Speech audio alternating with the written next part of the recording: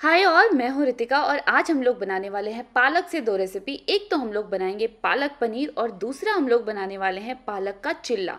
तो जो हम लोग ये पालक पनीर बनाने वाले हैं ना, ये बिना लहसुन प्याज के बनेगा। तो आप कोई ऐसा टाइम हो जिसमें लहसुन प्याज नहीं खाना है तो आप ये रेसिपी ट्राई कर सकते हैं। और दूसरा हम लोग बनाएँगे पालक का चिल्ला। बहुत ही अच्छा ऑप्शन है आपके ब्रेकफास्ट के लिए, आपके डिनर के लिए, या फिर आप लंच बॉक्स में भी इसको ले जा सकते हैं और बच्चे भी इसको बहुत पसंद करते हैं। तो चलिए आज की सबसे पहली रेसिपी पालक का चिल्ला की रेसिपी देख लेते हैं।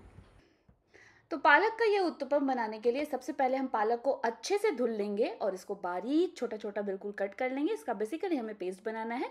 तो इसको मिक्सर जार में हमने रख लिया है और साथ ही हम पीस लेंगे इसके साथ मिर्ची। आप लहसुन भी अगर आपको पसंद है तो आप लहसुन भी ऐड कर सकते हैं। ये देखिए, पालक का पेस्ट बन के बिल्कुल तैयार है और इस टाइम पर अब हम इसमें डाल देंगे थोड़ा सा सूजी। सूजी से टेक्सचर भी अच्छा आएगा और एक थोड़ा कुरकुरा वाला टेस्ट आ जाता है। और यहाँ पे मैं ऐड कर रही हूँ दो चम्मच चावल का आटा। चावल का आटा थोड़ा कम रखना है क्योंकि हम लोग सूजी भी ऐड किए हुए हैं और डाल दिया है हमने इसमें बेसन। और यहाँ पे मैंने बारीक कट कर लिया है प्याज और टमाटर। इनकेस आपके पास कोई और वेजीज हो जो कि आपको पसंद हो, आप उसका भी यूज़ कर सकते हैं। तो यहाँ पे मैंने जो है यूज़ किया जो है सूजी चावल का आटा, बेसन, टमाटर और प्याज, मिर्च को हमने पीस लिया था पालक के साथ। और इन सबको हम अच्छे से मिला लेंगे और यहाँ पे मैं ऐड कर रही हूँ नमक अपने स्वाद के अनुसार। थोड़ा सा रेड मिर्ची पाउडर यूज़ कर रही हूँ। आप अपने टेस्ट के हिसाब से यूज़ करिए। अगर बच्चों के लिए बना रहे हैं तो मत यूज़ करिए। आप स्किप करिए वो पार्ट और ये देखिए, यहाँ पे मैं सिर्फ़ एक चम्मच यूज़ कर रही हूँ दही का।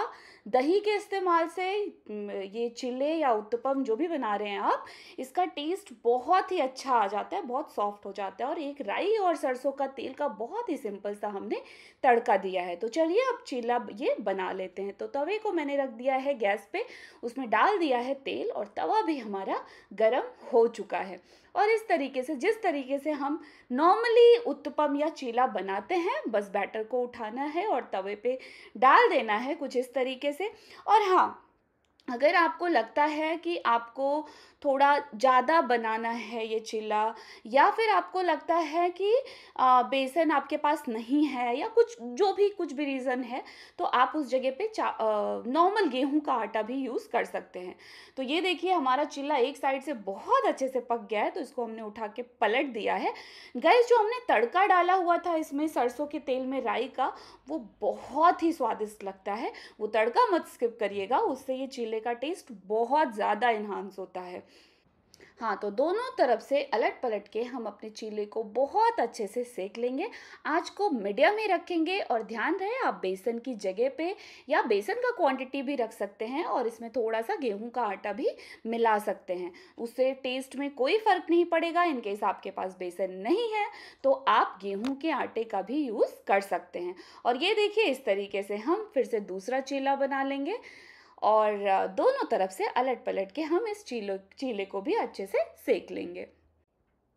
और हाँ जब हमारा बैटर रेडी होता है तो उसको हम तकरीबन 30 मिनट के लिए रेस्ट पे रखेंगे। तकरीबन आप, अगर आपके पास बहुत कम टाइम है तो आप 20 मिनट के लिए बैटर को रेस्ट दीजिए ही। वो पार्ट मैं बोलना वहाँ पे भूल गई तो यहाँ मैं बोल रही हूँ कि बैटर को रेस्ट ज़रूर दीजिए। और ये देखिए, हमारा दूसरा चिल्ला भी बन के बिल्कुल रेडी है। आप कलर भी देख सकते हैं, कितना अच्छा लग रहा है। तो बच्चे ये कलर की वजह से भी इंजॉय कर सकते हैं। और ये देखिए, आज हम ये चिल्ला इंजॉय कर करने वाले हैं अपने ब्रेकफास्ट में और दही के साथ एंजॉय कर रहे हैं। आप ये चिल्ला सॉस के साथ भी एंजॉय कर सकते हैं या कोई साउथ इंडियन चटनी आप बना सकते हैं इसके साथ या नॉर्मली आप इसको चाय के साथ भी एंजॉय कर सकते हैं। तो गाइज़ प्लीज़ ये रेसिपी आप लोग ज़रूर ट्राई करिएगा और हमारे साथ अपना एक्सपीरियंस शेयर करिएगा। तो चलिए आज की ये दूसरी रेसिपी स्टार्ट करते हैं। पालक पनीर की रेसिपी वो भी बिना लहसुन और प्याज के।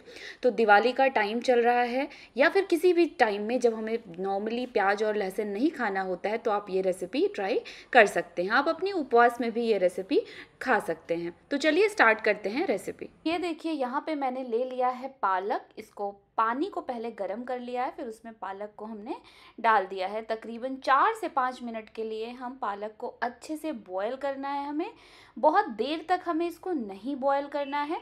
तकरीबन चार से पाँच मिनट तक हमें इसे बॉयल करना है। उसके बाद हम गैस बंद कर देंगे। आप ये पालक को निकाल के किसी ठंडे पानी में या नॉर्मल पानी में आप इसको डाल दीजिए।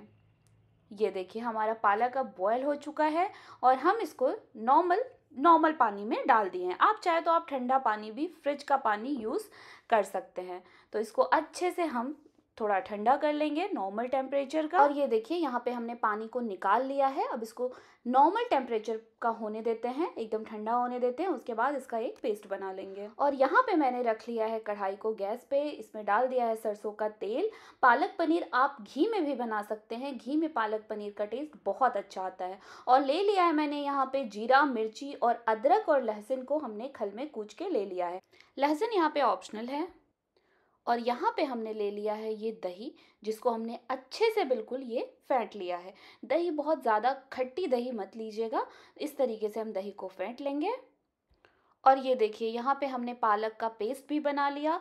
गाइज़ जब भी भी आप लोग पालक पनीर बनाइए तो ट्राई करिए कि पालक जो यूज़ कर रहे हैं, वो एकदम फ्रेश लीजिए तो पनीर बहुत ही अच्छा बन के तैयार होता है। तो चलिए स्टार्ट करते हैं प्रोसेस तो यहाँ पे हमारा तेल भी अब गर्म हो चुका है तो सबसे पहले इसमें जीरा का तड़का लगाते हैं और आँच को हमने इस टाइम रखा हुआ है मीडियम उसके बाद ये लहसुन और अदरक जो हमने कूट के ले लिया है खल में, वो यूज़ कर रही हूँ। ध्यान रहे, लहसुन ऑप्शनल है, आप इसको स्किप भी कर सकते हैं और रेड मिर्ची भी हमने इसमें डाल दिया इसको थोड़ा सा हम पकाएँगे।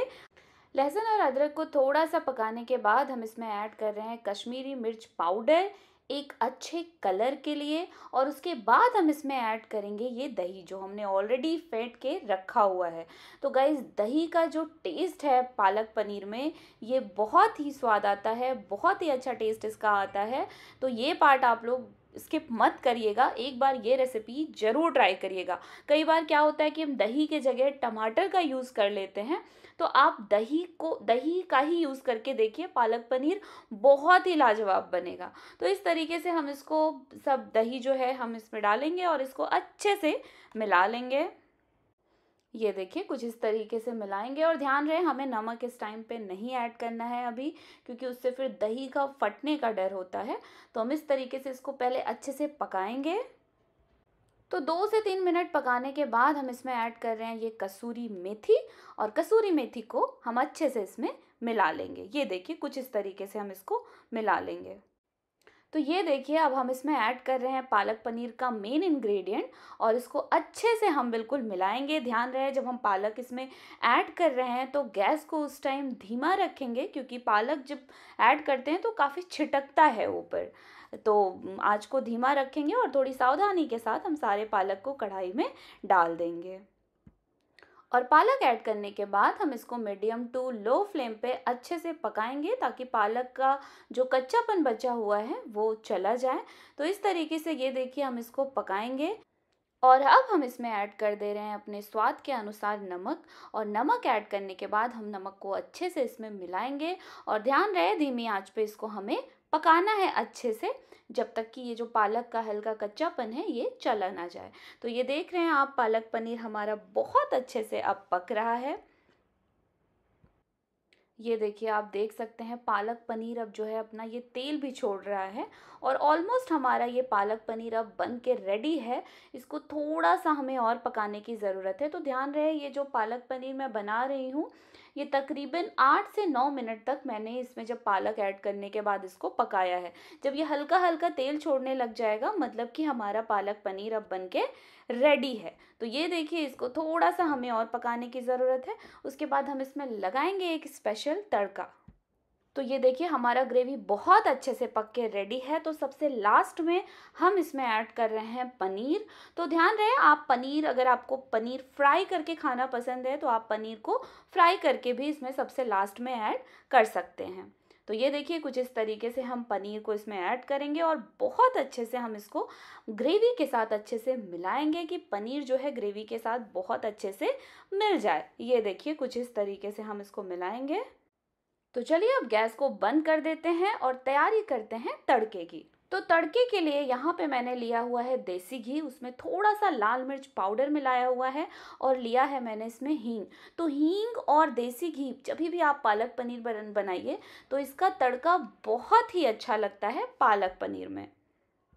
और ध्यान रहे, ये तड़का हमें सर्व करने के पहले लगाना है। देखिए, हमारा पालक पनीर बनके अब रेडी है बिल्कुल खाने के लिए। तो आज हम ये पालक पनीर एंजॉय करने जा रहे हैं अपने डिनर में रोटी के साथ। तो गाइस प्लीज़ ये रेसिपी एक बार आप लोग ज़रूर ट्राई करिए और यकीन मानिए बिना प्याज लहसुन के भी बहुत ही लाजवाब पालक पनीर बन के तैयार होगा। तो गाइस प्लीज़ ये रेसिपी आप लोग ज़रूर ट्राई करिएगा और हमें भी बताइएगा कि कैसा लगा आपको ये रेसिपी और अगर वीडियो अच्छा लगा हो तो चैनल को प्लीज़ लाइक शेयर और सब्सक्राइब करिए। Thank you so much